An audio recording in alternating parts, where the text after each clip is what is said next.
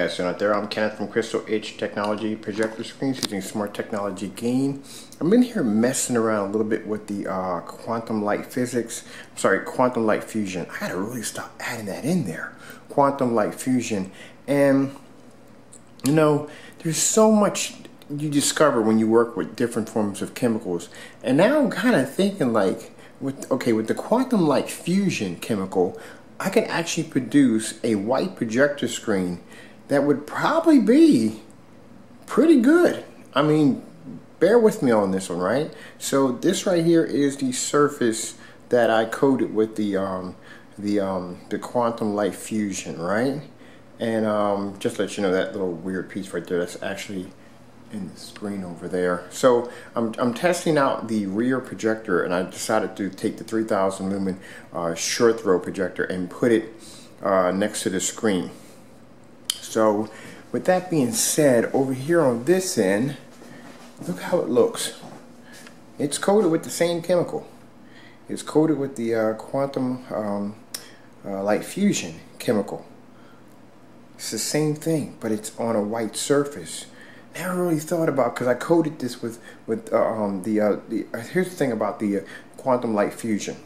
Um, it can be changed. The color can be altered and changed, and every time you alter the color on this chemical, it reacts a different way. So the other side is silver when this side is actually white. So I, I had an interesting idea. I would coat this side with silver of the uh, of the uh, uh, um, uh, quantum, sorry, quantum light fusion. And then on this side, I would do a silver version of the quantum light fusion and figure out the two together would combine with a really nice um, rear projector screen. But also in doing this, I realized that the white version of the quantum light fusion looks really freaking good. I mean, really freaking good. All right, so let me go here and start this really quick. This demonstration. It's just me doing some testing today. Just, just look at that. It looks really good. I'm really considering doing a white screen with the quantum, um, quantum light fusion. That looks really freaking good. All right, so let me go over here real quick. The demonstration was intended to be.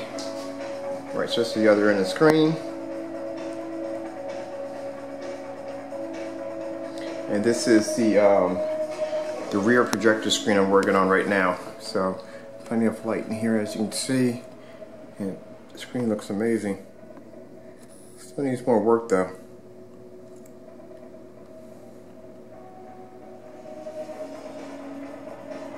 And the guys are looking at it like it doesn't look very professional. It's cardboard.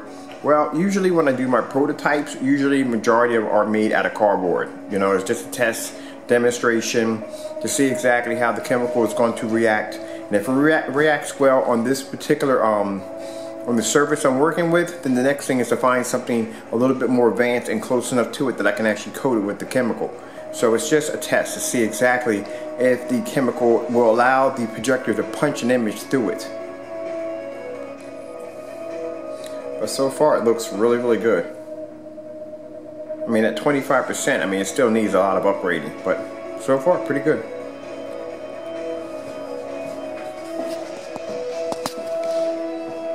And the angle looks amazing.